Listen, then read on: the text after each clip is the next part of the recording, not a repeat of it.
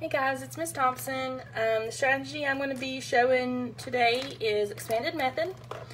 And I've got two equations again that I'm going to model with. So for expanded method, we look at our numbers and we're going to show the value of um, the place that each number is in. So 48, if you listen closely, you kind of hear it, 40.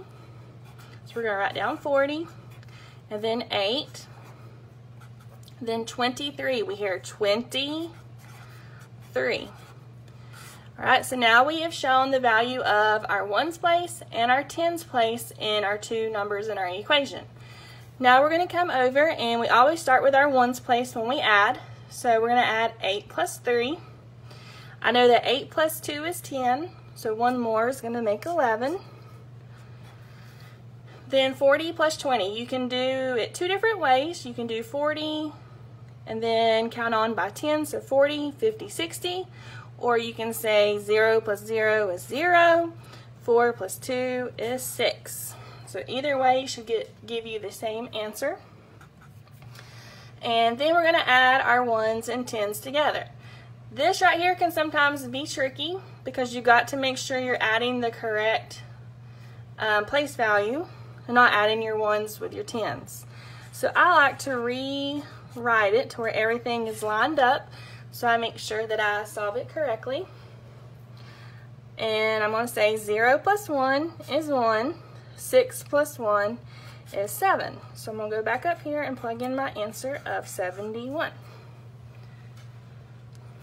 Alright, over on our next equation we have a 3 digit on top. So just like we did before, we're going to show the value of each place. So when we say the number 634, if you say it slowly, you hear the numbers when um, you say it. So 634. Then 75. We have 70. So here's the tricky part. We don't have no hundreds, so I'm not going to write my 70 down below my hundreds. I'm going to come over here and write it under 30 because that's my tens place. So 70 5. And if it helps, you can plug in a zero. That way you know you don't have no hundreds when lining them up.